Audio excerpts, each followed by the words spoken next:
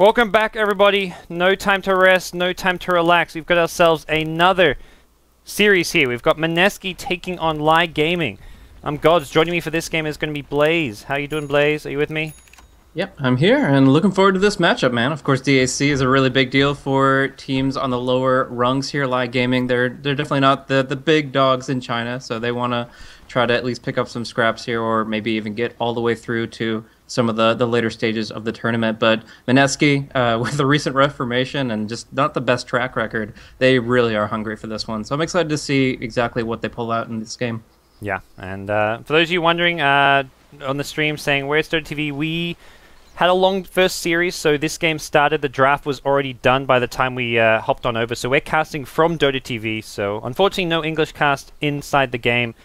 But uh, there is a schedule to keep to. Uh, so with some of these series going a bit longer than scheduled, we couldn't get into the game. But we'll get things underway here. The draft already complete. As said, we weren't here when the draft began. We weren't in the game, but we'll introduce our teams to start things off. Lai Gaming on the Radiant side. Going to have XDD on a Bristleback in the safe lane for now. XZ on the Axe. Super on the Ancient Apparition. 5400 on the Rubik. And Secret on the Ember Spirit for the Radiant side.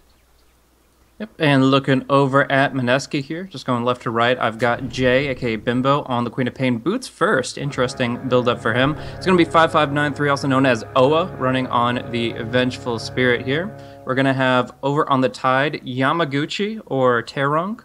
And then we've got Ogre Magi, that's RR or Ralphie. And finally, the Lycan. That's listed stand-in secret, but that is actually Polo. Yeah. So Polo is running on the Lycan here, and uh, looks like he's going to go for a pretty early bottle alongside his Stout Shield and Pool Tangos on the mid. What is secret players? Everyone wants to join Team Secret apparently today, with both teams having a secret player on their team. But Mineski have had some recent roster reshuffles. There was talk of them maybe not making it into uh, DAC unless they submitted a roster in time, but they did pull together a, a last-minute roster with two new players in. Read some interviews. The team seemed pretty confident that these are some of the best upcoming players in the Philippines and to expect big things from this current roster. But, I mean, I guess you're not going to say these players suck and we're not going to do well. So I, I believe them, but I, am going to wait till I start seeing them perform before I, I start hyping them up. Yeah. I mean, the, the, cool thing is they're back to a full Philippine roster, so you get to hype the Pinoy Dota on that, but they do lose out Johnny, who is a very skilled player. There were some communication issues and stuff like that, so I, am looking forward to seeing what they can accomplish. Obviously, we've seen a lot from Jay, though apparently he has some limitations as far as how often he can practice, so although very skilled, you know, real life gets in the way. We'll see how they perform here. Already going for an interesting matchup. Like, if you look at the bottom lane, we've got Queen of Pain versus Bristleback. I don't think I've ever seen that matchup, but it's it's one where he's just going to kind of keep his distance with the Shadow Strike and boots and get what CS he can. All right, well, we'll see how things go. The other thing which, and just to bring up quickly, there is always going to be the, the China versus SEA, the server problems where I, am not sure how it works. My guess would be it's like one game on Perfect World, one on Singapore, but uh, for some of these teams there could be some potential uh, latency issues in some of these games. But so far, it seems to be going okay. Jay in the bottom lane is holding his own as far as CS goes, and it's good to see Queen of Pain make a resurgence. I mean, I know you're saying there's some interesting matchups in. The Queen of Pain one especially, I'm, I'm curious to see how uh, things go here for uh, Mineski and for Jay specifically. big rune fight, though. Yeah, uh, Super going to be the one actually looking like a possible first blood here, but here comes the three-hero Chilling Touch. It's going to be, well, the secret stand-in for uh, the Radiant side. Getting the first blood, Queen of Pain picks up the bottom bounty rune, but the chase is on. They want not just one, they want a second, and they'll get the second. Rubik gets the kill with the Fade Bolt, and Lai Gaming find two kills early on fighting Ember Spirit around Maroons is just never, never a very fun proposition. Yeah, pretty difficult. Uh, there was a chance for actually 5400 to go for a telekinesis onto the cliff, and Venge would have been stuck there for quite some time. But getting the first blood gold is huge, so she is going to be uh, a threat. She is going to be on the map. They're actually smoking down bottom as we speak, but they are going to be able to get the first blood money off of her. We'll see if they can actually turn around the Bristleback. Uh, 0-2-1 build. He's rather tanky, but this is three heroes against one. They should be able to bring him down. Yeah, I I like this rotation too because if you can get Queen of Pain one of those heroes way, if you can snowball the Queen of Pain, it really works in your favor. But you can see good old-fashioned Min Mineski DC, and well, we've now got ourselves an official Dota 2 game. We've got some pauses coming in. It's it's been christened. This is the Dota 2 Asia Championships, and the opening game for I think this is both these two teams' opening match. So we'll mm -hmm. see how things go go for them. Yeah, I mean, it's not the hardest matchup to start off with, right? So I think that both of them are feeling relatively confident as opposed to going up against one of the, the big, big scary tier, I wouldn't say tier one teams. Most of the tier one teams have been invited, but the, the kind of top tier of what we see here in the qualifiers. Yeah, but in either case, I mean, it would be great to get the ball rolling with uh, some early kills. Obviously, Lai Gaming already struck the first two bloods, but you mentioned Queen of Pain Snowball. Lycan is a very tempo-oriented hero. If they can get just a few kills in their favor, they can start looking to control the Rosh Pit, push towers. They're really objective-based on their team lineup, and of course, that's very important to have because the late game kind of goes towards Lai right now uh, with the Bristleback and the Ember. Not guaranteed, obviously. The the Ravage is a big uh, factor in those mid to late game team fights, but as far as hard scaling, Lai Gaming have a lot to offer. I feel for Mineski, the big thing is going to be just not get too far behind early because they don't need to have a lead to take Roshans and to get control there because you've got Lycan, you've got Vengeful Spirit, you've got pretty good team fight from the Tide, the Queen of Pain. But if Lai Gaming just get a really big early game lead, Bristleback and Axe are just such snowbally heroes. Ember Spirit mm-hmm. as well. Like I feel around that 15 minute mark, if Lai Gaming have themselves all their core items and like a 3 to 5k lead, that will turn into very quickly a 10k lead, and Mineski losing complete control of the Roshan pit. They'll start losing all their outer towers and just be completely unable to take a fight. So I don't think Mineski need to dominate the lanes, but they definitely need to make sure they aren't like that fight around the top rune was not something they can really afford to have happen again. Yeah, most definitely. So, I, I, mean, there's a lot of potential for the axe to build up early towards the Blink Dagger. Uh, probably going for the Tranquil Boots for now to segue into that.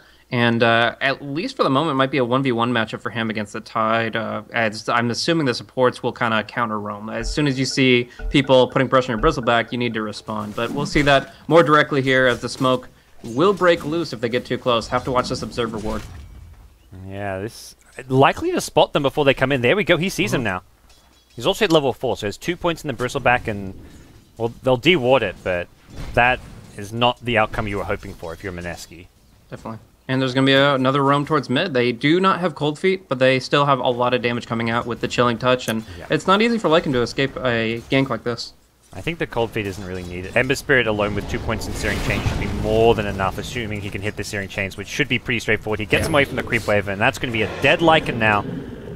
The Ember Spirit getting the last hit, so he gets his second kill of the game, and things not looking good early on here for Mineski. Yeah, and it's interesting that the supports go back up top. This is a tough decision to make here, but in this case, they're like, okay, we're getting the most out of the top lane. We can push the tide back. We can guarantee Axe the fastest Blink Dagger he can desire, and uh, at this point, the bottom is just too heavily contested. Uh, the supports here, Ancient Apparition Rubik, are good in like 3v1 pickups, but in big skirmishes, you need more. Top you need lane, they've pulled the Tide out with a lift into a call here. Here comes the AA. It looks like we're going to be seeing a dead Tide Hunter. One more spin. XZ not finding it. The right clicks, unfortunately, they don't have Chilling Touch, but what they do have is the Ice Vortex, and that's going to be just barely enough for 5400 to pick up that kill on the Rubik. Yeah, very close call there, because the Cold Feet was a little bit late, but they are able to bring him down. He pops an extra sab, too, so 100 gold down the drain there. And uh, Mineski just seemed kind of lost in the laning stage. They don't know exactly where they need to be uh, to yeah. deal with the major threats from Lai Gaming. And I guess you contribute that a bit to Vision. Like, they, they have a couple good wards up, but nothing on the lane. And so Lai Gaming's movements have been completely uh, avoiding all their main points of observation, and that's going to be difficult to respond to. The other big thing is they failed to deward their pull. They put the sentry in the common mm-hmm. spot on the left side, and it didn't reach the observer ward. So they didn't deward their pull, which meant they couldn't really contest top lane. They needed the pull camp for their supports, otherwise they just fall behind too much on XP. So not being able to deal with their pull has really hurt them, it feels like, in the laning stage. So I'm trying to think what they're really getting out of this laning stage. Obviously, the Lycan's going to be able to build up and rotate to the jungle. This will give a solo lane to maybe like the Ogre to build up towards his multicast. But, I mean, it's really the Queen of Pain that needs to take action. Around level 7, maybe 8, he needs to be just getting active with his ultimate, with his powerful nukes, and really making his presence known across the map. He has a lot of great tools built in, especially with the kind of one-point wonder Blink but they're under so much pressure already that he's got to make some big plays happen in order yeah. for them to get their feet back underneath them. And the worry is, around the time Queen of Pain's ready to get involved, Axe is going to already have a Blink Dagger. So yeah. we, we may even see Axe get involved before Queen of Pain moves off this lane. Axe gets Blink, TP's bottom, and you're looking at a dead Queen of Pain, I'd say. So mm-hmm. this Queen of Pain could be caught out by surprise. And the kill on the QoP, the one hero who seems to be farming well, would be catastrophic for Mineski. Um, One nice thing they do have going for them is they're stacking up the Ancients, but this Observer Ward scouting it out will make it difficult for Tide to pick that up early. Yeah. Top lane, Axis gone in once more, looking for another kill on this Tidehunter. Does not have the support backup just yet. They're a bit far away and will get scouted out by an Observer, which expires. But the DD rune, this is probably going to be a possibly quick tier 1 tower going the way of uh, Lai Gaming. They're going to draw the creep aggro. Actually, Axe is going to look to take the creeps, saying he wants his, he wants his Blink Dagger. Oh yeah, he's to get it too, man. So much farm going his way. Uh, one assist under his belt, 38 last hits, and the tower pretty soon as well. That's a very fast Blink Dagger, and it, really, they don't have a great answer for it. Like, the swap later would be a good answer, but they spend just level 3. Like, this is such a high-tempo axe, and he's to be able to do so much work.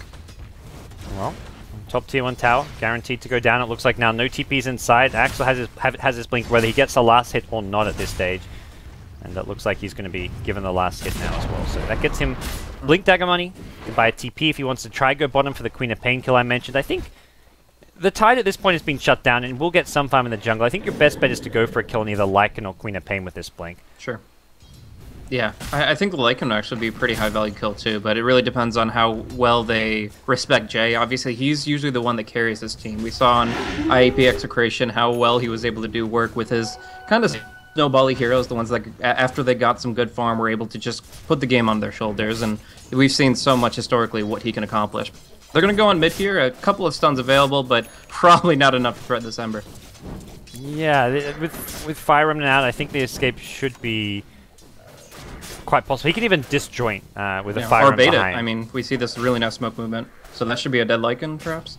Um, they're going to swing Axe and Rubik down bottom lane even, as bottom rune looks to be taken by Jay, and this is something they may contest. They've got good Radiant Vision, as you mentioned. They've got Vision on the Ancients, but more importantly, this bottom rune right now. And Jay one blink call could be his death. And wow. the Guardian Rune on the ground, yeah. the dunk is there. Telekinesis not even needed. Now on the high ground, Ember Spirit goes in, gets a two-hero Searing Chains. And with the Flame Guard, this is looking like more casualties from Mineski. Triple kill for Axe. Easy peasy. Oh yeah, my gosh, that was brutal. hat trick coming out for him. That's absolutely insane. Just using the speed boost that they got off one target to just build up that momentum. They just don't have the HP pools to deal with that. Like the Tide is the only one that's anywhere close to 900 HP. Uh, the the Lycan gets there, but like obviously he wasn't involved at all. They just chain one kill into two more, and it's all about that Ember Spirit getting the chains off so they can yeah. follow through and unveil the Blink Dagger in a huge flourish. I mean, they knew it was coming soon, but eight minutes getting a triple dunk after the Blink comes out. Uh, that's demoralizing, if nothing else. And XZ, I mean, he's only just level 7, but suddenly he's got 1700 gold at 9 minutes in with a Blink Dagger. So, Tranquils, Wand, Blade Mail, whatever he maybe wants to go for at this point. Items are plenty. Get yourself a Midas if you really want to reward your hard work here. There's just so many things you can do. Meanwhile, top lane, it looks like we could be seeing another kill here. Tide, he's good at TP, but he can't really use it against the uh, Searing Chains then. Well, Chilling Touch, Sleight of Fist, easy pick off. Yeah, they could have gone actually gotten a free kill on the courier. It was crowing a bottle, so it was very slow. Okay. They saw it, but they chose to go for the hero kill. They know they need experience. They're underleveled, and a little bit of gold going their way will not turn this game around. So they go in for the big flank. They want to bring down XTD. Yeah, Mineski looking for their first kill of the game. Queen of Pain may have to commit an ultimate for this one, I feel. As XTD still alive for the time being, and one more scream could be enough here. Jay getting very low. The oh, Quills is going to add up, and he gets one. He's going to TP out as well. Anchor Smash is there, or could he Ravage? He gets out of there. Oh, no. Nothing going the way of Mineski here. The Flame... Actually, that Fire Remnant does go their way. Okay. What? Okay. Oh, Hop up. well... That Fire Remnant, I think he thought he had the kill on the Ogre, but he had to Fire Remnant all the way to like mid lane and then back to bottom lane. So the time the, the trip took him, Ogre backed off far enough that he may survive this? Maybe. Is he? The Shadow Strike there, he doesn't have mana for Remnant just yet. He's, I mean, he's not going to die immediately, but I think they can chase him down if they know that no reinforcements are coming. But yeah. with this pause, you got to think, okay, who has TP scrolls? We've got Ancient Apparition, uh, with a TP, not much mana. Then we've got Rubik with a TP, and yeah. anybody rotating should be able to bail him out. I think Ogre, if he's outside of immolation range, of course, will live. But as far as those two pursuing the Ember Spirit all the way back to his tower, even without a spell, I think he just walks. Yep. Well, we'll see what happens here. The scary thing is Axe is missing off the map. They don't know exactly where he is. Ogre dies to the Flame Guard damage, so it was, it was still in range for that one, and, well, it looks like Ember Spirit going to be A-OK. Queen of Pain still chasing. Has a Sonic Wave. Will Blink Scream Sonic Wave. Ember Spirit still alive. Gets the Searing Chains as well. Jay goes down and Ember Spirit still alive and kicking. Still has that heart beating on 15, make it 30-ish HP. And Rubik, he stole an Anchor Smash. Not a bad spell to have in your arsenal right now against the melee heroes of the Tide, Ogre, and Lycan. So, still not a single casualty on Lai Gaming side. Nothing is going right for Mineski here. Zero kills, and the two most important heroes here, the Bristleback and the Ember Spear, both one hit from death on the ganks against them. But Jay withholding the ultimate against the Bristleback, and uh, there the the pause giving a little bit strategic time to know Rubik needed to TP, and they even turn it around against Jay. Yeah. He's died twice. He's gotten absolutely nothing, and this is just atrocious for Mineski. The Sonic Wave being on cooldown too. That's and Ravage. They use Sonic Wave and Ravage, and now they've got a minute and a half without these ultimates. They cannot fight at all. And even with those ultimates, turns out they couldn't really fight. Yeah. I mean, Lycan's items look okay. The Vlad's and medallion, but he doesn't have boots. Like, he is completely relying on his shapeshift movement speed or just jungling. He's not going to be able to chase anybody down. So, yeah, they're just going to go full passive mode, and this gives plenty of opportunities for the Radiant to just spread the map, get some good control. There was a nice D ward on the bottom rune ward we were talking about, but they've already blocked off the stacking, so Tide's not bouncing back anytime soon.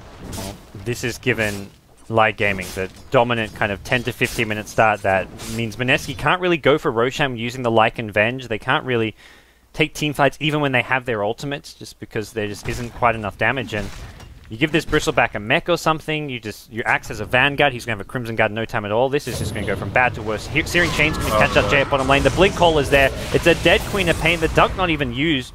Probably would have liked to have it just for the chase onto the Ogre Magi, but they're going to get this kill regardless. And no backup inside. Two more kills go the way of Lai Gaming. I was a little bit worried about how they were gonna find kills on Lai Gaming's lineup if they executed poorly. If they were had like if they were up against a really competitive team that played really smart in their positioning and didn't overextend at all. Lai Gaming's kill potential is limited in the sense that like the Ice Blast and the Culling Blade require your opponents to be very low already. Like they're they're executing abilities, and the like Fade Bolt and other factors don't really add in that much damage. But the fact that they've just been able to snowball this forward, they don't need to rely on Bristleback getting four or five stacks of Quill Spray up. They can just run in there, call, blast, and dunk. And at this point, there's no point of return for Mineski with these low HPs. Yeah, Mineski have their ultis back, but all it takes is yeah one blink call and a Queen of Pain, and she's dead before she can cast a single spell. Even a just a Searing Chains to lock her in place, and that's a dead Queen of Pain. Queen of Pain yeah, made a move to a bottom rune and was like, wait a second, this is not a place I want to be. Not without uh, vision. Mineski right now, vision near the mid lane in their own jungle, but nothing to help them out of this bottom lane. It's actually Lai Gaming with a nice high ground ward up near the tier 2 tower that can see a lot of these hero rotations. The tower gets denied, but, well, hasn't been denied. It's in deny range, and I don't think Lai Gaming care too much about the money at this point. They're just looking to just kind of get map control and push out all these lanes as much as possible if the Mineski doesn't get to do Rosh within the first like 18 minutes of the game, that's a win automatically for Lai Gaming because they have a Venge and a Lycan. Even the Ogre helps out quite a bit with this. So the fact is, losing that tower loses a more control over the Rosh. They're really not sure where to deward. Like you see them dewarding the the lower eastern cliff, but they have a, actually an observer on the northern eastern cliff, and it's just yeah they they really can't control the pit, and that's not going to be that what their draft was designed to get them back in the game via Rosh, and that's just not enough for them right now. We got to this point where even with these these the team fight with the Ravage Sonic Wave up, there's a mech and there's also like a Vanguard on the axe, a point booster. Everyone's so tanky that there's no one you can really kill unless you're going to focus down the supports first, like the AA and the Rubik. We're not looking at much good coming the way of Mineski in a team fight. And even then, it's like you're blowing ultimates to maybe kill supports. Axe in mm. good position to blink in, but he doesn't want the Ogre. He wants something bigger. Another tower gets denied. There's a Blink Call. Only catches the Ogre for now. Like I'm going to shapeshift in. We'll see Tide throw a Ravage kind of defensively here. There's still a mech available, and that's going to be able to heal him back up. Ravage gets stolen oh. by the Rubik, and the turnaround is real. The dunks start coming out. Four for nothing. Rubik is going to be still alive. He gets locked in place by the call. Five for nothing. 18 to 0. Lai Gaming demolishing Mineski. I can't even get one freaking kill. Somebody set up a relief fund for this team. This is just.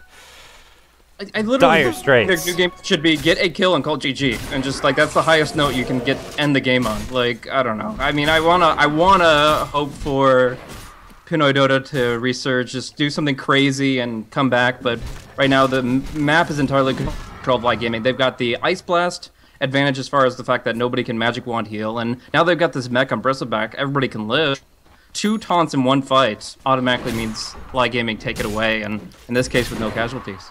Well, we'll see smoke picked up by the Ogre and probably realizing all we can really do is hope for some kills here.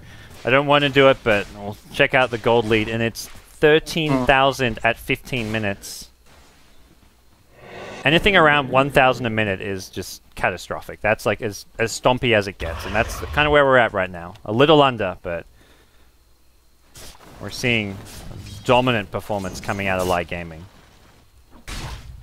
Yeah, and there's just, I mean, there's one jungle for Mineski to farm, and that's soon going to be contested, I believe, by Lai Gaming. They're making sure the Ancients and the Rosh are controlled by Ice Blast, or just manually scouting to make sure they don't smoke in. And actually, up top, he's just going to be able to avoid a lot of this damage via Flame Guarded Slight, And Yep. This is a 3v1 position, but they know that they just don't have the lockdown. Like, Ogre getting one Fire Blast won't be enough. Yeah, you can easily disjoint the magic missile if you need to. And well, Ravage still in cooldown. They're going to make their move towards the top lane. It seems. Well, at least AA poking around this top river, and it seems maybe just a swing back. Lai Gaming themselves can take Roshan if they want. Even just the one point in nasal goo. They've got tanky frontliners. Would force Mineski to come and fight them there, and right now is not the time for Mineski to be taking a fight. They will have Blink on Tide. That's the ever so small good news right now. Mm-hmm. Let's see what Yamaguchi can do. I mean, it's pretty much the midnight hour for them. Anything positive would be a huge net gain for them, especially with, of course, the 6.82 rubber band. Like, they have such a disadvantage as far net worth goes that this is a huge factor. Just getting any kills they can. Uh, Lai Gaming going to do their best to prevent it, but eh, if they get a little bit too aggressive, it's very possible this will turn. Right now, it's not like a Crimson Guard for Axe, for example. It's go- he's going for the Aghanim, so although he is very tanky, it's very possible to at least get a pick on the Rubik or the the AA. But looking at Rubik, he might just go for a quick like solo Ravage with like the last 10 seconds of the spell, but it looks like he hasn't found his opening. No openings, it seems, unfortunately. Not the end of the world, I feel. they don't need the Ravage too bad. They'll get a, another Searing Chains off, and Tide looking to come around from the side here, but if you're Tide, like, what's even the plan? Like, who you maybe, I think the Ember Spirit's your kind of best target if you can try to burst him down, but it's so hard to do so. Yeah, I think that's an ideal world to live in to try to get that pick. Actually, Yamaguchi under the ward. He won't even get up one Ravage. Oh, he does miss the call. That's on cooldown for a while. That's a one minute cooldown. That's so painful for an axe. Like it should never be on cooldown if you if you hit your culling blades. But we'll see a chase now into the vengeful spirit at mid and secret with the flame guard gets him with the sleight of fist. Now needs an escape though. Doesn't have uh, much mana. Can TP in a second. May just look to do so. No, he's not going to TP just now. He'll pop the drums and has a searing chains available, but hey, he'll get the two hero searing chains in. one TP. Maybe the move here. He's looking for a rune and we'll find a regen rune, but not going to make the move down there. He's actually going to be a-okay. Meanwhile, his Tons team takes the T2 space, bottom yeah. tower. Tons of space created here. Bottom lane just absolutely demolished, and they can just march down any lane they choose at this point. Uh, 20 to 0. There's not much more to say. Heals up, environment's back in, and the farm will continue for Lai Gaming. This is this is getting ugly very quickly. I think Tide is like the only hero you, that cannot be caught out. Like, even the Venge swap wouldn't have done that much in that situation. 5593 or Oa. Jay, Was not in is he getting solo killed here? Okay, that happens. Battle Fury gives him a lot of extra damage, and that's a, just a straight up solo kill coming out onto the Queen of Pain. I think there was a lot of lag issues coming out from the side of Mineski. Obviously, Yeah. perfect world servers. There's some distance, there's some firewalls, and Can't check the hard. ping since we're in Dota TV, but that's too bad. Um, but yeah, for those of you wondering, we're not in Dota TV. This game started when we are in our previous series because the Tongfu versus uh, am I talking? Tongfu versus CDEC game went overtime. So because of that, we didn't make it into the next lobby. But we're casting from Dota TV. There's plenty of other action going on here. There's four streams running with BTS2, Lysander's casting over there. Uh, you can check out the watch tab in Dota 2. There's uh, G-Guard versus Immortal Magneto Gaming. There's CSW versus CDEC, which should be a good game. Uh, and then you've got DK versus Big God as well, which is uh, Burning and Weight's kind of mixed team. I'm not actually sure who's been playing for them so far this tournament. I don't know if you caught who their roster was. I caught it like a week and a half ago, but I'm sure it's switched Yeah. since then. They've been modifying a lot to try to get the perfect lineup for them. Well, well I, they've also have some like restrictions from Ace. Like Burning wasn't Yeah. allowed to play at uh, I League. Well, I think it was because he played for IG or something. So it's been weird. We're going to see a blink call here. The Ravage, Ooh. not bad. Catches out two. They want the Rubik. Thinking he's maybe the only kill they can get. Ice Blast comes flying in now, and well, there's just nothing that Mineski can take from this fight. 22 to 0. The dream is real, and well, for Mineski, 23. Not much more they can do from here on out, except the EG score. two magic letters. It's just absolutely dominant. Uh, they get the EG score, and then they pump it up plus one to 24-0 and I mean it's it's an Aghanim's axe at 19 minutes here. His kill, killing threshold right now is 450. That is over half the HP for majority of these heroes. Oh my gosh! Just yeah, that is that's brutal. Not the best high ground taking lineup, but you're this far ahead. You don't really mind whether you take Raxes now or a bit later on. They're taking all the tier twos. They can fall back for Roshan if they want. Bristleback's probably the one here you want to like get nice and tanky before you can easily break that high ground, but even without him, he's got a Sanjan Yasha and throw something like an AC or a hat on him and you're pretty good to go for the high ground. But even without these items, it feels like Lai Gaming are doing just fine. Yep. Push coming down bottom. They're probably not going to respond to this, so this will be some easy gold going the way of Mineski. But on mid lane, Yamaguchi most likely going down. The kill threshold, one more hit. There's the chop. And uh, yeah, nah, they don't even get the bottom tower. Like that's the Lycan actually did a surprisingly low amount of damage to that tower before Ember was able to respond. He's going BKB, but I don't see this helping against Bristle or Axe at this stage at all. Mm. I'm not. I don't think there's. I don't know what the better item choice is. It just. It's just like, well, great. You're gonna have a BKB, if he can even finish that. I don't. I just don't see it doing anything. There really isn't an alternative. The alternative like of a Necro book is not going to do much either. That's just going to feed more gold to Lai Gaming, so I don't think there's any good item really. Maybe we see a Courier Snipe? No. Jay not going to spot it out. Jay farming enemy neutrals. This is how desperate this situation has gotten. Yeah, I mean, he just wants to find an Orchid, but really, what is that going to accomplish either? I mean, Same maybe thing, yeah. a kill on a support, which, again, would be one more kill than they've been able to acquire this entire game. And Ember's going for possibly the Manta style that we see on a lot of these Chinese Ember Spirit plays when they're up against Orchids and Skywrath Mages to get rid of those silences. Can disjoint Magic Missile as well. Just a lot of nice little things you can do with a Manta style. A nice kind of defensive item, mm -hmm. um, which also gives you great chasing potential. So here we go. High ground, let's go. Lai Gaming have the Aegis on XTD in the front lines, and it's now up to Mineski to make something happen. And well, that something may just be their first kill of the game. That's about all I see them maybe getting out of this hole. Yep, Geometry Sight coming out. When you never die, it doesn't really matter if an item drops on death, and they're just going to town on this tier 3. Nice chains coming out. Look at the HP. They could actually Ice Blast ice that. Blast? Yeah. but uh, Super just withholds. He wants the, the big play just in case they actually engage. Like, if you cower in your fountain, that's a win for us. So he's just waiting for that jump in, and Yamaguchi's looking for it. There it is. Comes back from the Sleight of Fist. XTD, he's low, but he's got the Aegis. That's not the target you want to go on, and nothing accomplished with a Sonic Wave, Ravage. Everyone's still pretty healthy, apart from XTD, and that's said, he's got the Aegis. Yep, so the standard secret on the Radiant side is able to dodge out of all those abilities with a, a very nice usage of the Fire Remnant. And there goes Midrax. Now you make the swing towards bottom where Axe doesn't have the call right now, but Still a tough... Lycan does not want to be fighting this Axe right now. Radiant side, fairly healthy. Should be able to keep on going. There's your Manta style for Ember Spirit, and... Well, Axe gonna get swapped back. Can they actually bring him down? Doesn't look like it, no. Quickly, is like, uh, bad idea. It would At be something point, if they could get the Axe. He's got a, a, lot of kills underneath his belt. Godlike streak for him would be an insane comeback for them, but they can't even keep their themselves alive inside the base, let alone outside. Well, this is looking like the end from Mineski in Game 1. It's a two-game series, so is that potential for a bounce back? A lot at stake here, and this is where a lot of these teams have been training hard and preparing for this moment. Mineski with a new roster, Lai Gaming, have been fairly stable for the most part over the last few months, and, well, we see them off to a fantastic start here. 28 to nothing. Mineski, well, this is something they've always been very adamant about. You don't GG until that throne goes down, or at least until you're 100% sure you have no chance left. So they'll play this one out to the bitter end here as we'll see some farming going on deep in their base. 30 to 0. Oh dear. It looks it looks like it is going to be a full on shutout. They can't even bring down the Aegis, let alone any full hero here. Jay's going just completely off the road. He's just saying, okay, this is not happening. I'll hide in the trees here. Uh, end please is what you type in all chat at this point.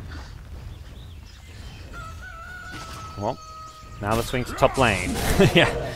And it looks like Jay is doing just that. He's hiding in the trees at top. He's asking them to end it fast. Someone needs to give him the memo that this is not ranked matchmaking. You can GG out.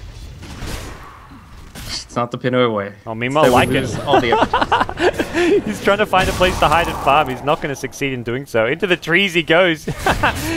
Lycan trapped in a little cage. Ooh. And down he goes. Top lane, the rest of the fight's taking place. Mineski, well, no chance for these two. Tiger's blinking in, has a Ravage available, probably won't get the cast. They, they got a kill! A kill! Yeah! Hallelujah!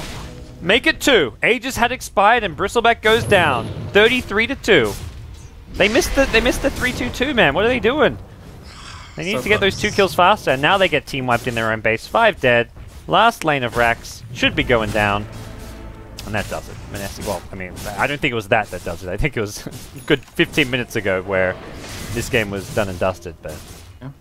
Well, I have to say, for Mineski, this Yamaguchi guy must be really carrying the team on his back. He has infinitely more KDA than any other teammate there, so he's got to be, is that 0407? What is this team that now? Hopefully they actually like are using this as an opportunity to talk about the draft and strategy for game two and trying to even up this two-game series. Yeah. Well, it wasn't a long game one, which will get us into our, our next series. I think we may be hopping over to the I-League Grand Finals after this, as uh, the Dota 2 Asia Championship action will continue on the other BTS streams and over on Baseskip stream, but this has been a, a very quick and one-sided match. This is the most one-sided game I've seen in good year or so, it feels like. Or even just, like, every game I've cast over the last two or three weeks, I feel, has been much more neck and neck. There's been a lot of mm-hmm. close Do Dota oh, games yeah. on these new patches, with partially because of the comeback mechanics, but um, just everything else uh, with a lot of the teams, the competition just getting a lot closer too. Definitely. I mean, a lot of teams are also trying to take advantage of the comeback mechanics by playing these kind of turtley comeback drafts that go yeah. for very greedy heroes, and it, their strategy revolves around bringing the game to a very long period of time so that they can win in the end. But maybe another kill coming through. Super dropping low the Orchid. No, Ogre's like easy, easy multicast. The other uh, thing is maybe like with the way the round robin group stage works, maybe there's some time rating that comes into play if there's ties later on. So that could be another reason why Mineski want to hang in there and play things out. But I'm not exactly sure on the tiebreaker rules. Should that occur later on in the group stage? If it if it is indeed time ratings, then yeah. there is not looking too good for them. This is one of the fastest Dota games I've seen in a while, and 39 to three is not a great start here. Hopefully, they get their heads in the game for game two. All right, well, good. I actually get a break now after with this game done, since we just had a really long Tongfu vs CDEC series, guys. Stick around. We'll have more Dota 2 action coming up next. I believe it will be the I-League Grand Finals starting in about 25 minutes. So uh, I believe Blaze will still be joining me, but you can follow him on Twitter at BlazeCasting. Follow myself at BTS GoDz. Tune into all the other BTS streams going on. Lysandra on BTS2, Zyclops over on BTS3, and Baseskip over on his stream at Baseskip. Stick around, guys. More Dota 2 coming up after a bit of a break.